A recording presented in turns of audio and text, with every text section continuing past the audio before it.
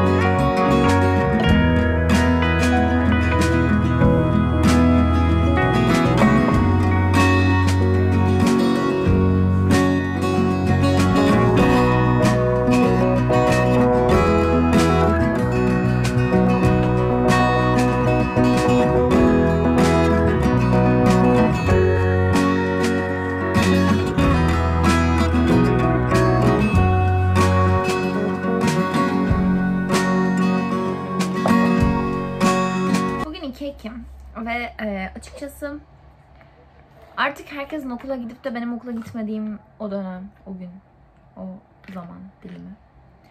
Bilmiyorum açıkçası birazcık garip geliyor ama böyle çok da garip gelmiyor. Selin gitti dün.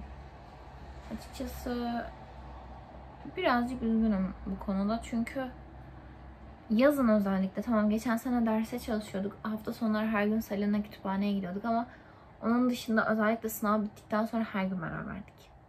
Her gün. Bu hiç şaşmıyordu ve bize geliyordu dışarı çıkıyorduk bir yere gidiyorduk. Hep ikimizdik yani. Çünkü mesela Ceylin'in kursu vardı ya da ne bileyim diğer arkadaşlarımızın bir şeyleri vardı ama hep ikimiz boş olup buluşabiliyorduk yani. Özellikle o sınavdan sonraki haftalarda her gün yani her gün. Yani son bir ayda işe falan girmişti. O yüzden çok fazla buluşamıyorduk ama yani mesela şu an hadi bize kahve içmeye gel dediğimde gelemeyecek. Yani hafta sonları buraya gelecek olabilir ama onun dışında e, kahve içmeye gel dediğimde gelemeyecek. Ben parfüm kokusunu çok fazla sevmiyorum tamam mı? Yani mesela bana baktığınızda nasıl kokuyor gibi geliyorum size. Bir süre bu kokacağım bitene kadar. Ama e, parfüm kokusu benim midemi bulandırıyor. Ciddi anlamda midem bulanıyor yani. Bilmiyorum. Yani o yüzden çok fazla ağzıma yakın yerlere sıkmamaya çalışıyorum çünkü birazcık mide kaldırabiliyor. Özellikle mesela kendi sıktığım kokudan ziyade dışarıda böyle yoğun gelen bir koku. Önceden böyle bir şey yoktu. Kendi parfümümü böyle bir tane parfüm vardı. Şekerli ve böyle iğrenç bir kokuda. Geçen gün konsere gittik ve e, sel uyarılarına rağmen yani sel uyarılarına rağmen konsere gittik ve yağmur yağmadığı için o kadar mutluyum ki o gün. Korkunç bir gündü. Yani eğer yağmur yağsaydı ne olurdu bilmiyorum. Ece ile Eslem geldi bu arada. Ve Ece ile Eslem'le buluştuk. Ya böyle sanki yıllardır onlarla buluşuyormuşuz gibiydi. Çünkü gerçekten özellikle Eslem'le mesela 4 senedir falan tanışıyoruz. Ece ile o kadar olmasa da yine de yani bir buçuk bir sene iki senedir falan konuşuyoruz ve düzenli olarak konuşuyorduk yani. O yüzden böyle hiç çıkarıp gelmedi buluşmuş olmamız. Sanki hep burada yaşıyormuş gibiler. Öyle hissettim yani. Garipti. Konser de çok güzeldi. Yani manga konserine bayılıyorum yani. En sevdiğim grup manga. Türk grubu olarak yani. Manga. Bütün şarkılarını ezbere biliyorum. Ya onu geçtim mesela. e, Diğer grupların da bütün şarkılarını ezbere bildiğim şeyler var. Gruplar var. Yani mesela Duman olsun. İşte ne bileyim yüz yüzeyken konuşuruz adamlar falan filan. Madrigal. Yani grup olarak çok başarılı olan gruplar var. Şarkılarının hepsini bildiğim gruplar da var ama manga yani anlatamıyorum böyle. O kadar çok seviyorum ki böyle bilmiyorum doğru yani kendimi ifade edemiyorum bu konuda ama birini çok seversiniz böyle şey olur ya benim için öyle bir şey. Ya mesela bütün şarkılarını ezberlerim ve konserde kendimi kaybedecektim. O kadar çok yoruldum, o kadar çok saattir ayaktaydık, su içmedik, işte tuvalete gitmedik. O kadar zordu ki. Ee, bugün ders çalışacağım. Normalde kütüphaneye gidecektim. Gerçekten bu hafta kütüphaneye düzenli olarak gidecektim. Çünkü artık e, hayatımda yapmam gereken ve e, yapacağım şeyler kalmadığı için bütün hayatımı ders çalışmaya döndürebilirim. Çünkü kızlarla buluşacaktık. Buluştuk, konsere gidecektik, gittik. Selin gidecekti, Selin gitti. Bundan sonra bir şey kalmadı. Okullar başladı, arkadaşlarımın okulları başladı. Okula gidiyorlar ve e, benim de artık her gün kütüphaneye gitmem gerekiyor. Her gün gitmeyeceğim bu arada. Mesela bugün gitmedim çünkü yağmur yağıyor. Yağmur yağmasaydı eğer gidecektim ama bu yağmur ben anlamıyorum. Birkaç gündür bir çok hızlanıyor, bir çok yavaşlıyor, bir yağmıyor, bir anda boşalıyor falan. Kendime riske atmak istemem çünkü ıslanmayı hiç sevmiyorum. Özellikle böyle bir yağmurda ıslanmak benim hiç hoşuma gitmiyor. Çünkü ne yağdığı belli değil. Ayaklarımız suyun içinde kalıyor. Geçen gün o konsere gittiğim gün mecburen evden çıkmam gerekiyordu. Şemsiye alsam mı almasam mı diye düşünüyor. Aldım iyi ki de almışım. Çünkü dışarıya bir çıktım göl olmuş yollar. Yani çok garipti. Yani 10 dakika içerisinde oldu bu. Ne anlatıyordum? Ha işte kütüphaneye gitmedim. Bugün evde çalışacağım ve 8 saat çalışmak istiyorum. Gerçekten bugün hedefim 8 saat ders çalışmak. Saat şu an 11'e doğru gidiyor. Ben 6.30'da yağmur sesine uyandım. Sonrasında geri uyumuşum. Saat 8.30 olmuştu. Normalde 6.30'da uyanmak gibi bir hedefim yoktu. 6.30'da uyanmayacaktım ama keşke geri uyumasaydım. Alarmım 8'de diye 8'e kadar uyuyayım dedim. Keşke uyumasaydım çünkü 6.30'da uyandığımda uykum yoktu. Ama 8.30'da uyandığımda alarmla uyandığım için uykum vardı.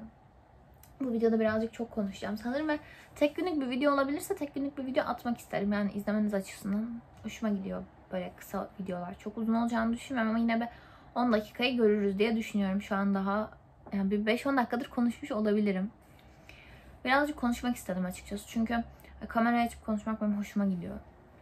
Yani dinlerken ne düşünüyorsunuz, nasıl geliyor bilmiyorum ama önceden çok daha yavaş konuştuğumu düşünüyorum. Şu an en azından kamerayı açtığımda düşüncelerimi daha fazla kelimelere dökebiliyorum. Bazen araya farklı farklı kelimeler koyuyorum. İzlerken fark ediyorum. Yani mesela demek istediğim şey başka bir şey ama bir sonraki söyleyeceğim şeyle ikisini karıştırıp söylüyorum. Şimdi ders çalışmaya oturacağım. İşte denemedir, paragraf problem falan filan derken böyle bir saatim falan geçecek zaten. Ondan sonrasında izleyeceğim videoları izleyeceğim, konuları çalışacağım. Kahvemi yaptım. Siz gördünüz zaten. Böyle bir şekilde.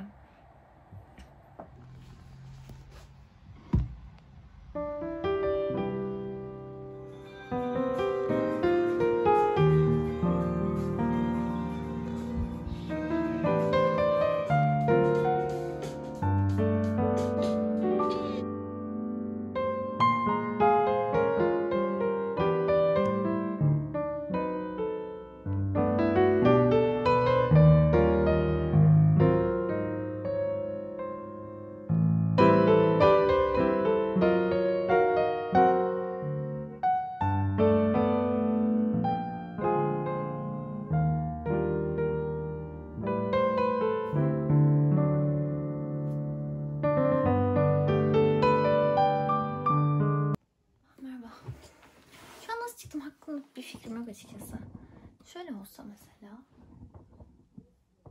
Bilmiyorum yani. Güzel çıkıp çıkmadığım hakkında bir fikrim yok açıkçası ama yani 0.5 de çekmek istedim. Bilmiyorum. Belki çok güzel çıkmıyordur ama yani kendimi de görmüyorum bu arada. Yani önce çektikten sonra göreceğim. Birazcık konuşmak istedim. Ders çalışıyorum. Bugün bayağı ders çalıştım. Bir buçuk iki saat dışarı çıktım ama onun dışında hep ders çalıştım ve yani evde de çalışabildiğimi düşünüyorum ama e, kütüphane verimi bambaşka bir şey. O yüzden yarın kütüphaneye gitmeyi düşünüyorum. Çok emin olmamakla birlikte sabah biraz da havaya bakacağım. Çünkü gerçekten yağmurlu havalarda evden çıkmak en son isteyeceğim şeylerden birisi. Şu an şey yapıyorum. E, TYT matematik sorularını çözüyorum. Aynı zamanda videolara devam ediyorum. Eşitsizliklere kadar bitirmem lazım. E, bu ay tabletim şarj olmuyor galiba ya. Bu ay hedeflerimden birisi TYT matematiği en azından problemlerin sonuna kadar bitirmek. Sonrasında TYT matematikle uğraşmayacağım. Sadece denemelerden devam edeceğim. Bu soru banka zormuş bu arada. Yani mesela yani bazen bütün sorularım doğru oluyor. Bazen iki sorum falan boş oluyor aynı bu şekil. Yani genel olarak ya boşlarım var ya da hepsi doğru. Ama hemen hemen her testte birer ikişer boşum var gibi. Ya konu anlatım videoları açıkçası çok hoşuma gitmedi. Ya anlatan hoca çok bana hitap ettiğini düşünmüyorum. O yüzden çok fazla izlemedim konu anlatımlarını. Yapamadığım soruları tekrardan bakmak için geçtim sadece boş sorularımı. Öyle şu an video izliyorum. Ya 12. gün izliyorum daha ama yani çok fazla bir eksiğim olmadığı için çok da umurumda değil çünkü TYT matematik denemelerinde 25-30 civarı soru çözüyorum. Ve bu benim çözdüğüm en yüksek soru sayısı sanırım. Çünkü e, geçen sene geometriyi çözemiyordum ama bu sene tekrar Kenan Kara'nın izliyorum. Geçen sene de öyle izlemiştim ama böyle çok çok önemsemeden. Çekiyor mu acaba video? Geçen sene böyle çok önemsemeden izlemiştim. Yani açıkçası geometri zaten yapamıyorum dediğim için çok umurumda değildi yapıp yapmamak. Ama e, mesela 30 tane matematik çözebiliyorsam 10 tane geometrim boş oluyordu ve matematikten 5 yanlışım çıktığında zaten netim 25 üzerinden hesaplanmaya başlıyordu. O yüzden geometriye gerektiği önem verdiğimi düşünüyorum. Şu an e, eşkenar üçgenleri bitirdim. Yani bu ay üçgenleri bitirmek de hedeflerimden birisi. Ama geometri yani ne kadar erken biterse o kadar iyi çünkü pratik yapmak istiyorum. Özellikle üçgenler zaten temel oluşturduğu için üçgenleri de bitireceğim bu ay. Bugün ayın ikisi bu arada. bu ay bu ay dememin nedeni o. Bugün ne yaptım? TYT matematik denemesi çözdüm. Pra paragraf problem çözdüm. Birazcık TYT fizik çalıştım. Başka geometri videolarımı ve testlerimi çözdüm. Videoları izledim, testleri çözdüm. Onun dışında bir şey yapmadım ve 6 saat falan oldu. Şimdi e, 3-4 saat daha çalışacağım. Ondan sonrasında da uyuyacağım. Sabah erken uyanıp kütüphaneye gitmek istiyorum. Biraz da duruma göre bakacağım dediğim gibi. Nasıl olur bilmiyorum. Derse geçmeden birazcık konuşalım dedim. Öyle. Video izliyorum yani. Mert Hoca. AYT kampına başlamış bugün.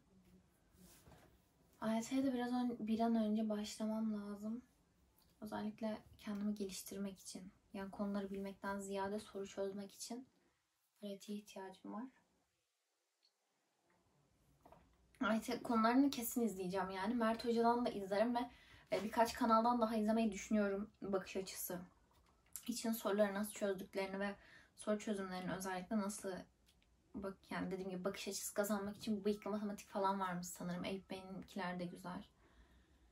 Birkaç tane böyle hoca var. Onların hepsini genel olarak videoları yollarda olsun evdeyken işte boş vakitlerimde açıp açıp soru çözüm videolarını izlemek istiyorum. Çünkü gerçekten bakış açısı kazandırıyor ve ya soruya baktığımda böyle ne yapacağımı bir süre sonra anlamaya başlıyorum. Mesela özellikle TYT matematikte geçen sene ilk netim 10 falandı. Onu bile zor yapıyordum. Bu kadardı. Hiçbir şey söylemeyeceğim sanırım.